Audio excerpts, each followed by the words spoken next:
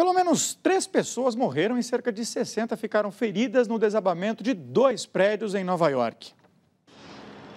Passava das nove e meia da manhã, horário local, quando o incêndio começou em um dos prédios localizados no bairro de East Harlem, em Manhattan, em Nova York.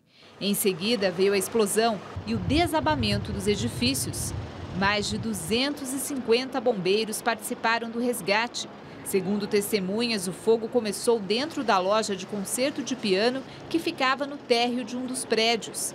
No outro funcionava uma igreja e uma lanchonete.